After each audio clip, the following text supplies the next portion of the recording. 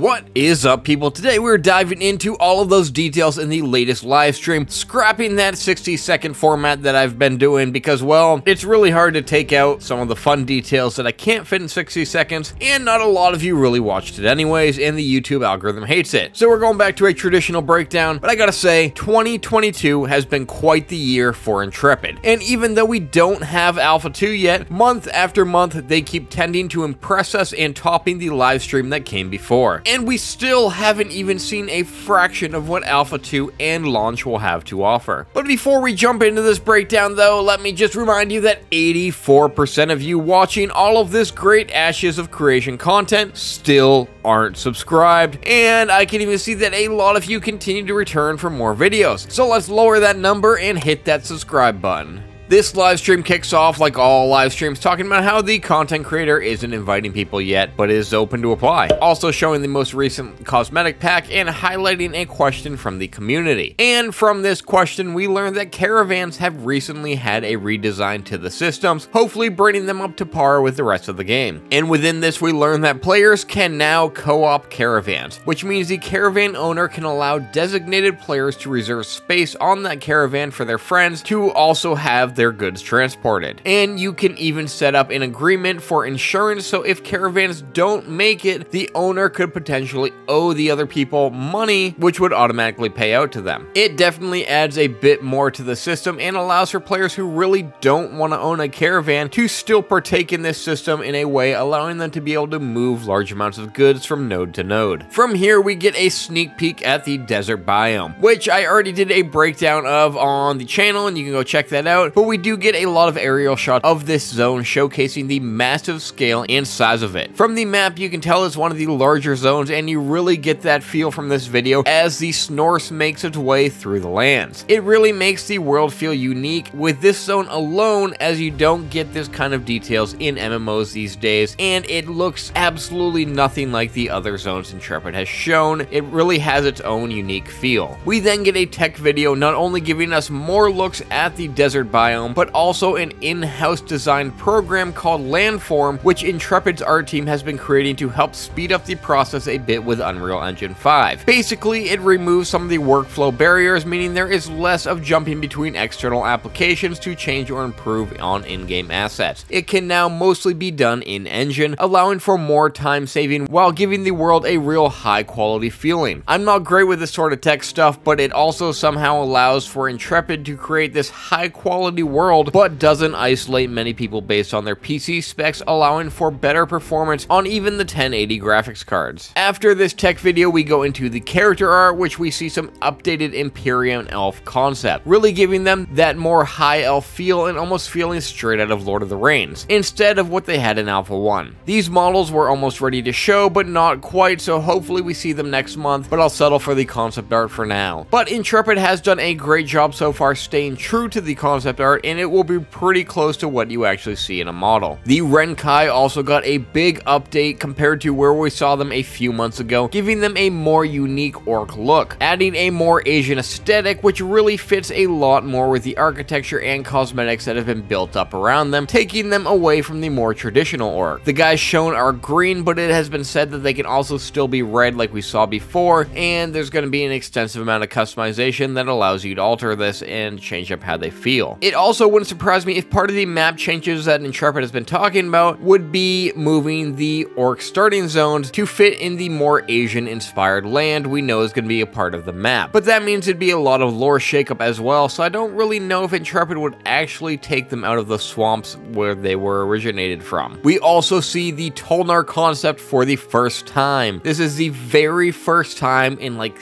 seven years that we have seen the Tulnar, which was very, very unexpected, even for Intrepid. But now we have an idea of what each of the nine races will look like. What is even more interesting though is the Tulnar are going to be very unique in the way you customize them and will allow for players to choose which influences these races have, allowing them to be more human, more mammal-like, or more reptilian-like, as we can see in this image. So you really could have three different races within this one race. Now, we just need to see more of the Underrealm and the Tulnar civilization itself. We also learned that the Dunir and Nikua dwarves are still getting some more love along with some of the remaining races, so hopefully we see a lot more of them soon. From here we see the Guise of the Negotiator cosmetic skin which was one of the monthly packs and seems to fit well with the desert feel. We also get a look at the statue from the desert teaser which Steven wouldn't share any lore around other than the symbol on her crown has some big significance. We also know the symbol on the map shown in the livestream teaser Intrepid gave us is the same one on the crown. We also see the model for the Lightfoot rabbit mount, some farm ducklings, and the shade duckling running around with his little hat on. Like I said before, Intrepid has been nailing these live streams this year, which is partially because development is finally in a place where they can show us a lot more of these cool features they've been working on for years as they get ready to put them into Alpha 2, and that Tulnar reveal really set this one over the top, making it even greater. But will they be able to continue raising the bar with live streams next month? More than likely, as we still have a ton of features we have yet to see, and I will be patiently waiting for that naval content reveal. Anyways, let me know your thoughts on the live stream in the comments down below, and if you're new to Ashes and have yet to create an account, feel free to do so using my referral link in the description below, giving you access to the forums to share your feedback along with just setting you up to purchase cosmetics or just to be ready when you can jump in and finally play. Otherwise, be sure to click that subscribe button,